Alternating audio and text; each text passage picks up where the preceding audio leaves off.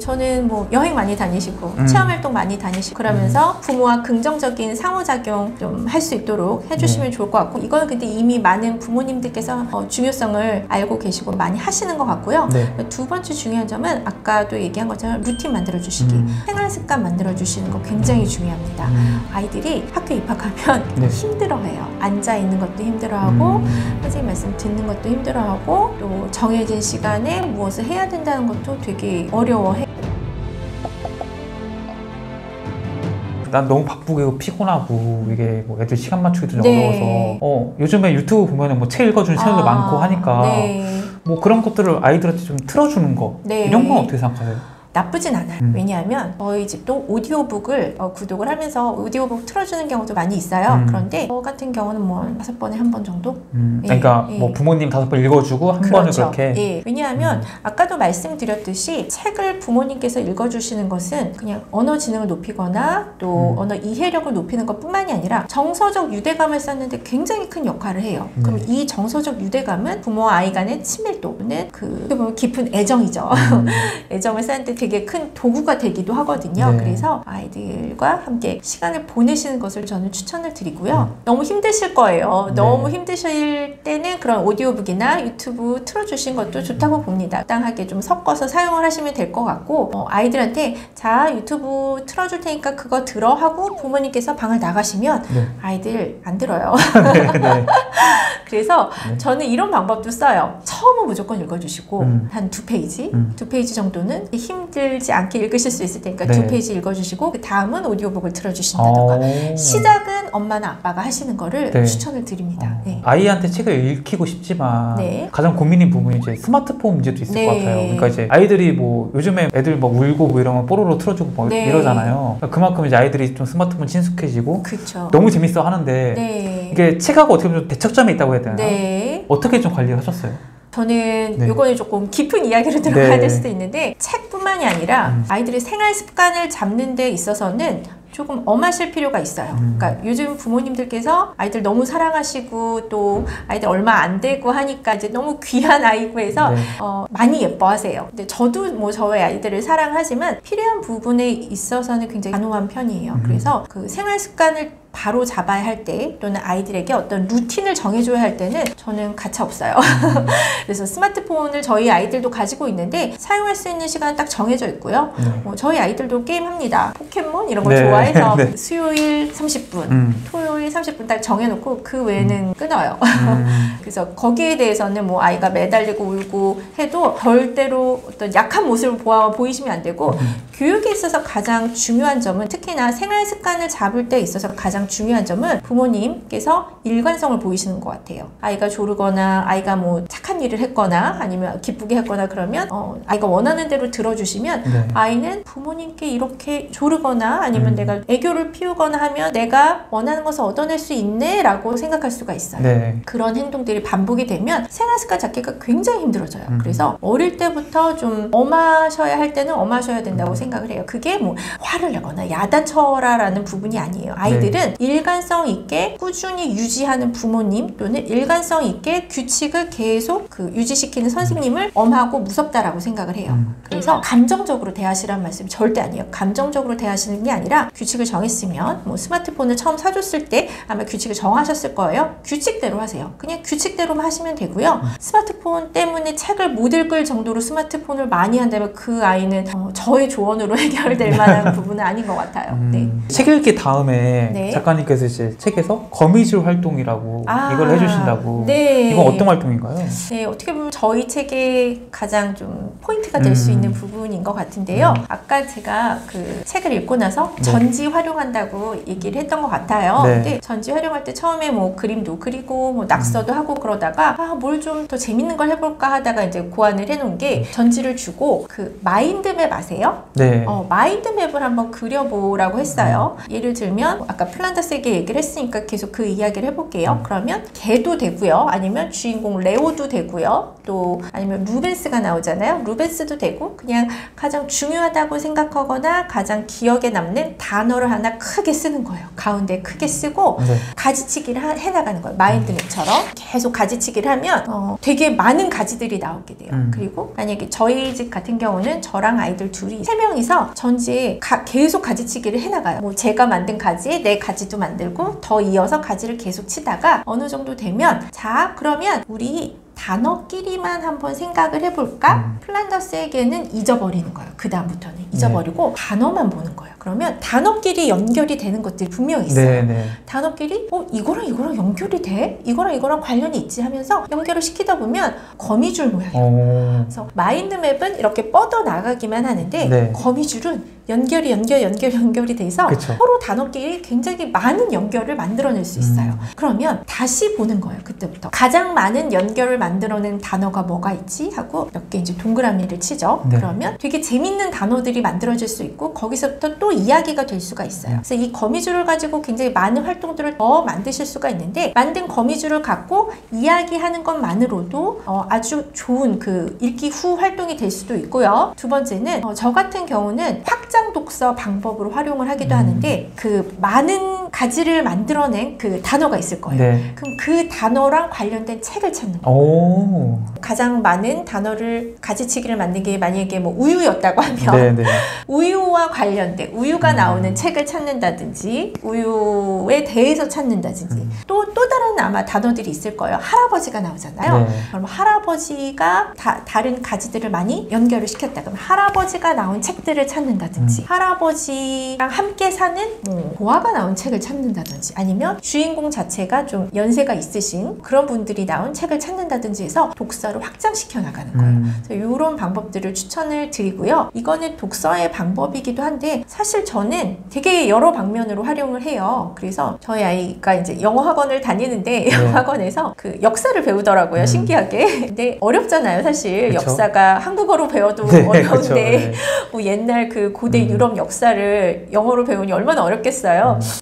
그래서 이제 아이가 오면 스케치북에다가 한번 우리 거미줄 한번 해볼까? 그러면 그 영어 학원에서 배운 가장 중요한 단어를 가운데다 쓰라고 하고 음. 배운 것들 가지치기 하면서 복습을 하는 거예요. 어. 복습을 하고 계속 서로 또 마지막에 거미줄을 치면서 연결을 시키면 아이가 가지를 치면서 배운 내용을 복습하게 되고 네. 가지에 가지를 더하면서 어떻게 보면 생각을 확장시키게 음. 되고 또 거미줄을 만들면서 어떻게 보면 창의성이 발휘가 어. 된다고 할까요? 연결이 안 될 것 같은 단어들끼리 연결을 시키면서 공통점을 찾는 거예요. 네. 그래서 공통점을 찾게 되면서 어, 복습에서 하나 더 나아가서 생각 근육을 조금 더 강화시킬 수 있는 기회가 되죠. 음. 그래서 저는 다양하게 활용하시라고 말씀드리고 싶은데요. 교과서에서 배운 내용들 음. 이렇게 활용하실 수 있고 또 책을 읽고 나서 활용하실 수 있고 또 확장 독서의 방법으로도 활용하실 수 있고 음. 또 초등학교 1, 2학년 정도 면 통합 이라는 과목이 있어요. 네. 봄, 여름, 가을, 겨울을 배우는데 음. 어, 이제 3월 달엔 봄을 배우고 6월 달이었나 5월 달이었나 이제 여름을 배우고 그 과목 배울 때 봄, 여름, 가을, 겨울 주제를 정해서 가족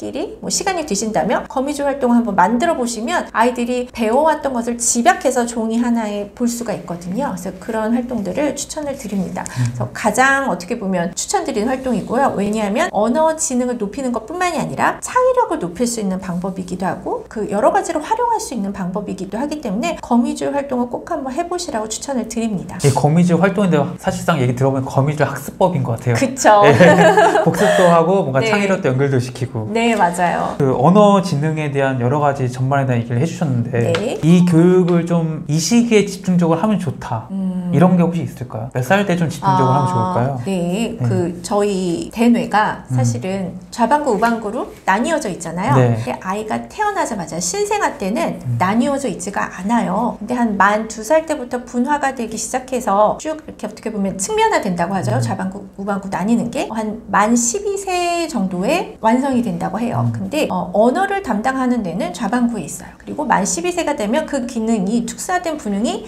그 완결이 된다고 얘기를 하거든요. 그래서 만 12세 이전, 즉 초등학교 졸업 이전에 좀 집중적으로 언어 지능에 대해서 관심을 가져서 계획적으로 좀 어, 활동을 하시면 좋을 것 같고요. 만 7세에서 만 12세, 즉 초등학교 시절이 가장 어떻게 보면 언어 지능을 강화시키기에 좋은 시기라고 보시면 될 것 같습니다.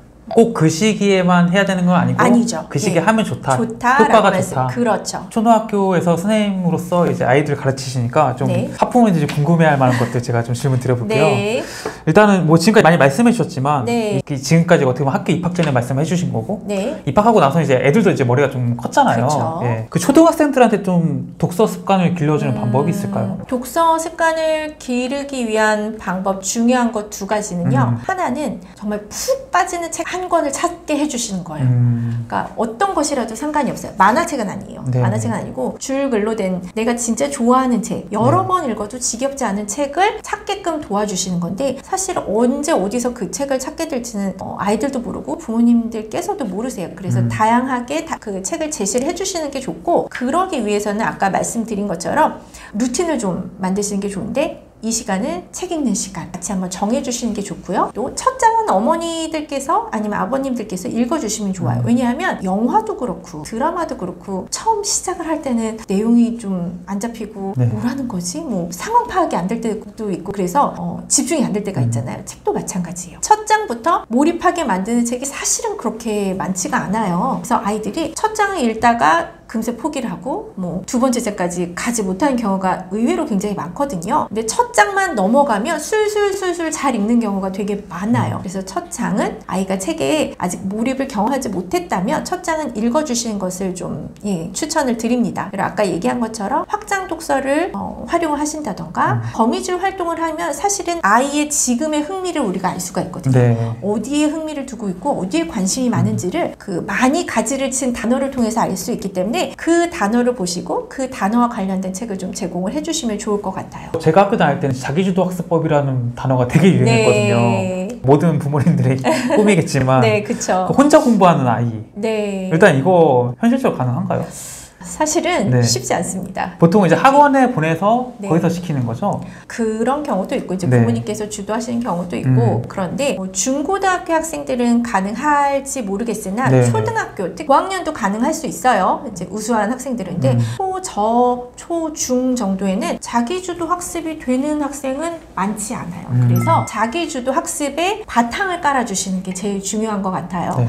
여기서는 두 가지 얘기할 수 있을 것 같은데요. 제일 먼저는 습 관을 만들어 주셔야 돼요. 생활 습관에 대해서 자꾸 이제 그 강조를 드리게 되는데 아이들은 루틴이 너무 중요해요. 어머님들께서 생각하시는 것보다 루틴이 굉장히 중요해요. 그래서 무조건 루틴을 만들어 주세요. 공부도 마찬가지로 공부 습관을 들여주시기 위해서는 이거는 내가 해야 하는 양라고 정하셔야 돼요. 뭐 예를 들어 연산을 뭐 두 장을 하기로 했다. 그러면 두 장을 한 후에야 다른 걸 할 수 있게끔 네. 약속을 처음부터 하세요. 음. 그리고 어, 되도록이면 시간도 정하세요. 매일 똑같은 시간. 학교 다녀와서 30분 후. 그러면 30분 후에는 무조건 연산 두장 하는 시간으로 정해 놓으시고 웬만하면 그 시간은 건드리지 마세요. 아이가 다 해서 성취감을 맛볼 수 있게끔 나는 이런 거를 매일매일 해나갈 수 있는 사람이구나 하고서 자, 자기 자신에 대한 믿음을 키워나갈 수 있게끔 루틴을 꼭 정해주시는 게 좋고요. 어떤 날은 많이 했다가 어떤 날은 뭐 적게 했다가 이런 거는 좀 저는 추천드리지 않고요. 물론 뭐 가족 여행을 한다든지 다른 특별한 이벤트가 있어서 뭐 시간이 부족하면 어쩔 수 없겠지만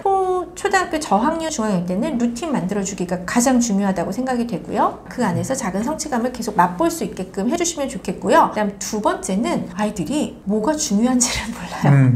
교과서를 읽어도 뭐 문제집을 읽어도 그쵸. 여기서 줄을 쳐야 되는 부분이 뭔지 의외로 굉장히 몰라요. 어떻게 보면 요약하기? 음. 요약하기가 되게 핵심인 것 같거든요. 네. 사실 요약한다는 거는 가장 중요한 부분을 발췌한다는 거잖아요. 발췌해서 내 언어로 만든다는 것이기 때문에 아까 제가 말씀드린 것처럼 2단계 reading log를 활용해서 매일매일 아주 짧은 요약하기를 연습을 시키는 것을 좀 추, 추천을 드리고 그게 힘드시면 함께 책을 읽은 다음에도 오늘 읽은 부분에 대해서 간략하게 한번 얘기해 줄래? 한 줄로 얘기해 줄래? 뭐 두 줄로 얘기해 줄래? 아니면 짧게 하나 뭐 기억에 남는 한 단어로 얘기해 줄래? 하고 자꾸 자꾸 자극을 시키셔서 중요한 것이 무엇인지를 알게끔 그런 부분을 좀 자극을 시키면 훨씬 쉽게 아이들이 자기주도 학습을 만들어 나갈 수 있다고 생각을 합니다. 그 지금 이제 영어를 가르쳐 주시고 있고 네. 또 실제로 미국에 유학도 다녀오셨잖아요. 네. 아 이거 한번 여쭤보고 싶어요. 네. 그 엄마표 영어에 대해서 어떻게 생각하세요?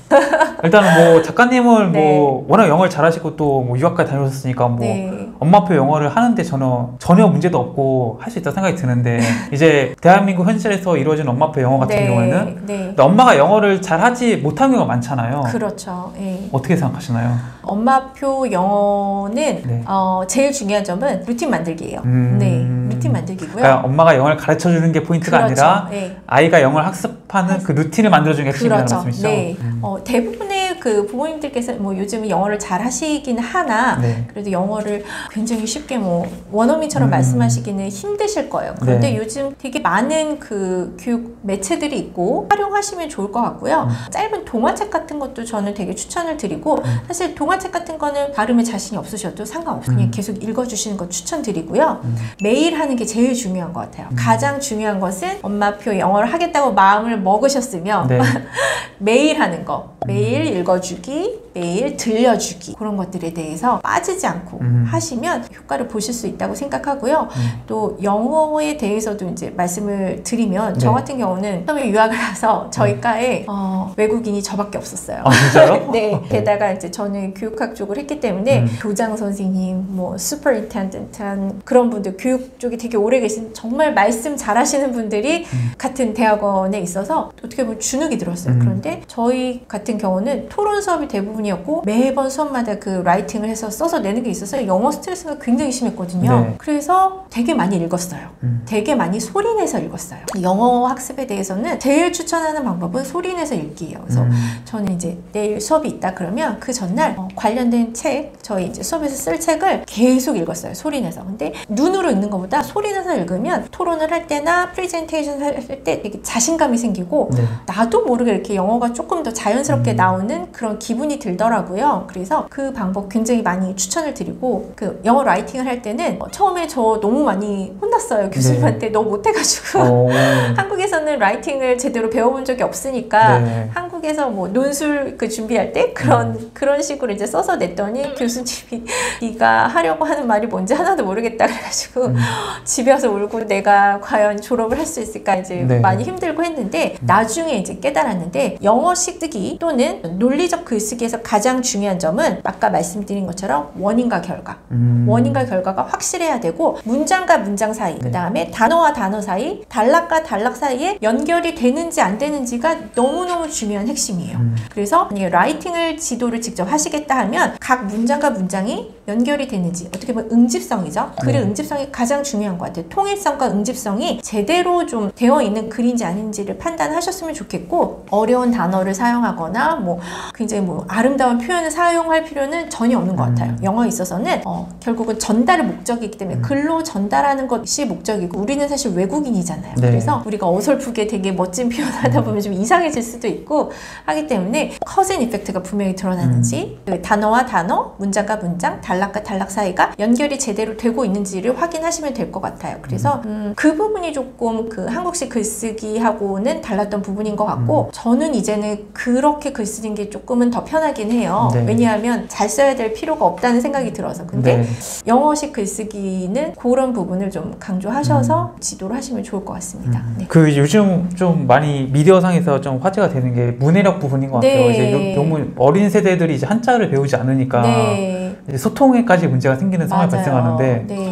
이 문해력을 키우는 좀 방법들 있을까요? 어, 문해력을 키우는 방법은 여러 가지가 있을 것 같은데요. 음. 뭐 우선은 책을 활용해서 할 수 있는 방법을 말씀을 드리면 네. 아까 저희 이제 문장 기차놀이 한 것처럼 음. 책 읽으면서 모르는 단어는 동그라미를 치게 하는 거예요. 뭐 음. 형광펜을 치든지 다 치면 너무 많아요.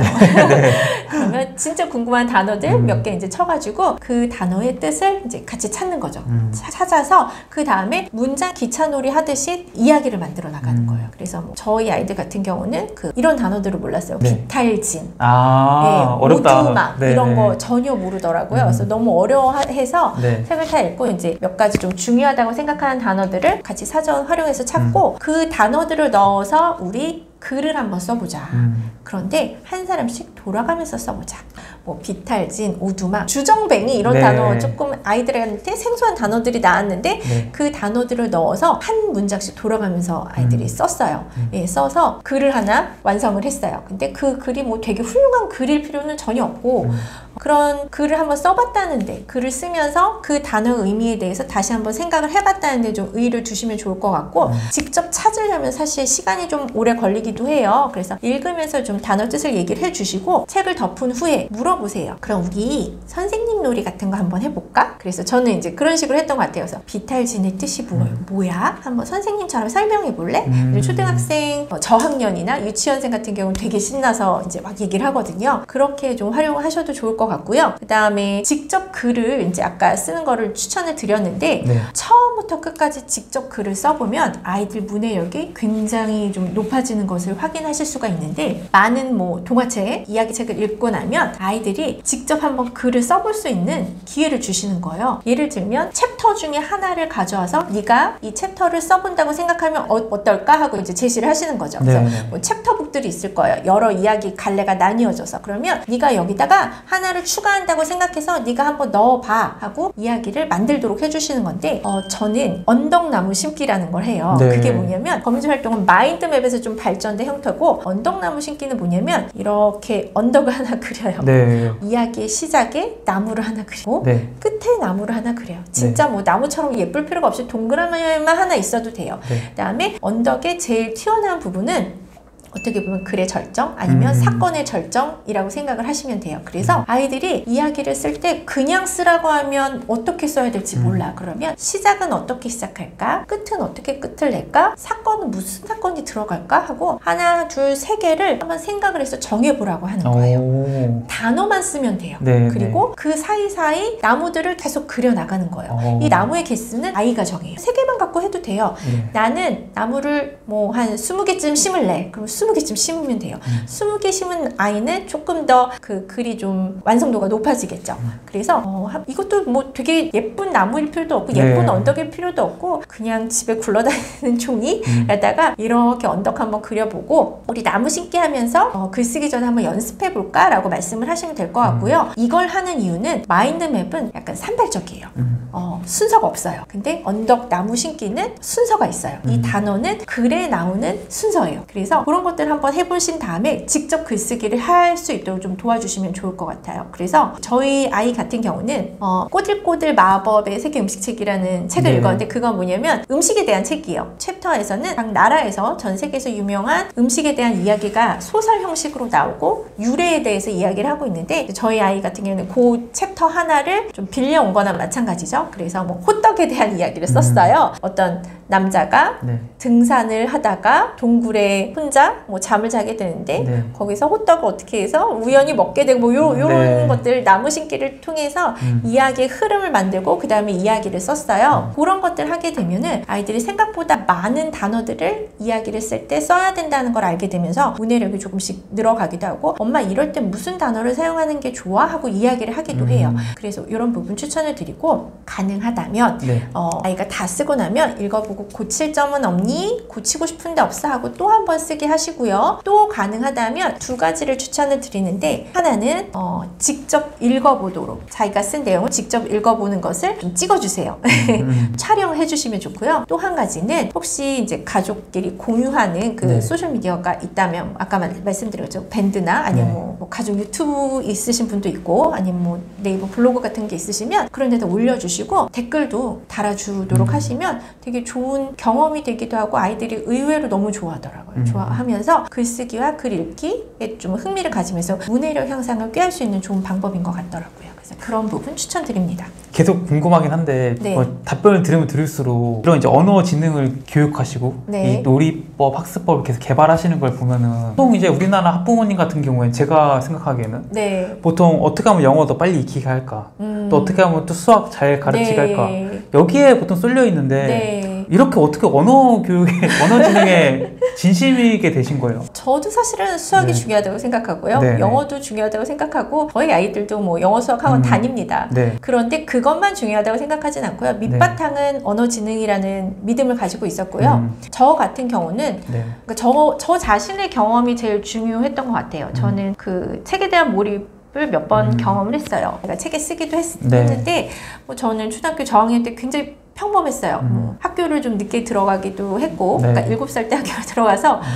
학교 다니는 게 너무 힘들었고 공부하는 것도 너무 힘들었어요. 너무 약간 힘이 붙이고 네. 공부를 그렇게 잘하지도 않았던 것 같아요. 음. 저학년 때. 근데 한 3학년 때쯤에 어, 우연한 기회에 이제 몰입할 수 있는 책을 음. 만나게 됐고 몰입 경험을 했어요. 책에 대해 몰입을 한 그 경험이 어떻게 보면 굉장히 짜릿했던 것 같아요. 음. 그래서 그때는 약간 외부 세계와 완전히 단절된 느낌? 네. 책과 나만 있는 그런 느낌을 되게 강렬하게 받으면서 음. 그때부터 책에 좀 흥미를 갖 게 되었고 음. 어떻게 보면 모든 책을 다 읽었던 것 같아요. 친구 집에 놀러 가서도 네. 우리 집에 없는 그 집 책을 읽고 그러면서 제가 성적이 많이 올랐어요. 오. 지금도 이제 찾아보면 이렇게 글집 네, 독후감 네. 상 상장 이런 게 이제 저희 친척 집에 네. 많이 있는데 네. 네 그런 경험을 한번 했었고 음. 그 다음에 고등학교 들어가기 전 겨울 방학 때 그때 좀 시간이 많았나 봐요. 음. 지금처럼 막 학원을 많이 다니거나 그렇진 음. 않았던 것 같아요. 음. 그래서 그때 어, 시작은 무협지였던 것 같아요. 음. 무협지에 제가 빠져가지고 무협지 한 시리즈를 다 읽고 나서 너무 재밌는 거예요. 네. 그래서 제 나름대로 확장 독서를 했어요. 네. 그러면 이렇게 여러 권 시리즈로 되어 있고 음. 뭔가 역사와 관련된 책이 뭐가 있을까 하다가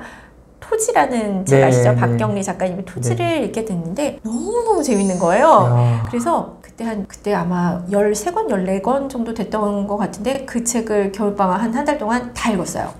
네, 박경리님 책이 너무 좋아서 박경리 작가님이 쓰신 책을 확장 독서실 네. 이것도 다, 다 읽었던 것 같아요. 음.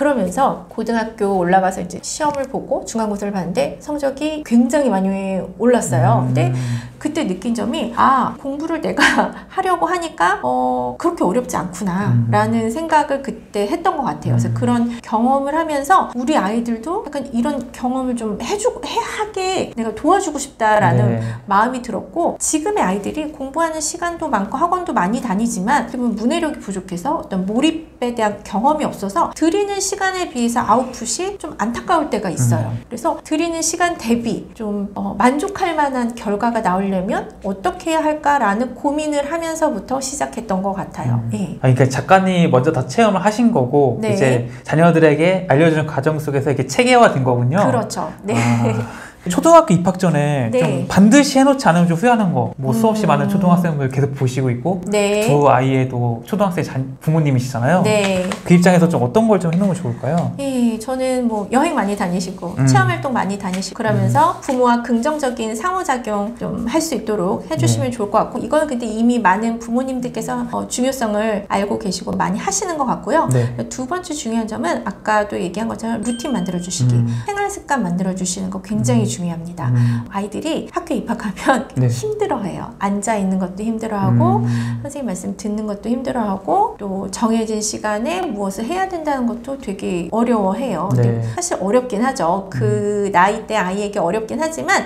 회화 과정이기도 하고 누구나 해야 되는 과정이기도 하기 때문에 음. 그런 부분에 대해서 미리 좀 생활 습관을 잡아주시면 좋을 것 같고요. 음. 아까 말씀드린 것처럼 휘둘리지 않으시는 게 중요한 것 같아요. 음. 아이 컨디션에 따라 아이 기분에 따라 감정 읽어주는 건 전 중요하다고 생각은 하지만 네. 해야 될 것은 하는 거 음. 거기에 대해서는 흔들림 없이 이렇게 밀고 나가시는 게 중요한 것 같고요 음. 또그 나이 때는 외부 자극에 좀 민감할 때요 음. 또 소리에 민감할 때인데 읽기 쓰기보다는 듣기 말하기가 훨씬 편한 나이 때예요 음. 그래서 아까 얘기한 것처럼 긍정적인 의사소통 계속 시도해 주시고 좋은 책 읽기도 계속 어, 해주시면 좋고 또 오디오북 활용하시는 것도 음. 좋고요 그런 부분 좀 신경 써주시면 좋을 것 같습니다 네. 끝으로 이제 구독자분들에게 마지막 말씀. 네.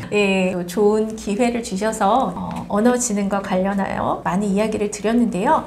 정말 저도 교육자이기 전에 음. 아이를 키우는 엄마로서 지금 이 시대에 우리 아이들에게 내가 해줄 수 있는 게 무엇인가 또 인공지능 시대라고 하는데 우리 아이들이 여기서 꼭 필요한 인재가 되기 위해서는 어떻게 해야 되나 좀 고민이 많이 있었어요. 그런데 저는 언어지능 또 책놀이가 답이라는 어떤 제 생각을 확고히 갖게 되었고 그 생각을 바탕으로 해서 책을 출간하게 되었습니다. 어, 책을 읽어보시면 활용할 수 있는 좋은 팁들, 좋은 놀이들이 많이 있으실 거라고 믿고 있고요. 많이 많이 활용을 해주셨으면 좋겠고 또 많은 그 부모님들께서 하나 이상은 고민을 하고 계실 거예요. 뭐 우리 아이는 집중력이 낮아요. 우리 아이는 말을 어, 똑똑하게 못하는 것 같아요. 우리 아이는 많은 책만 읽으려고 해요. 우리 아이는 어, 책을 싫어해요. 되게 많은 고민들을 가지고 계실 텐데 그런 고민에 대한 그 약간의 해답은 되지 않을까 싶어서 제 책을 좀 소개를 해드렸으면 하고요. 네, 또 궁금한 점이 있으시면 저 개인 인스타나 또 블로그에 댓글 달아주시면 제가 성심성의껏 답변해 드릴 테니까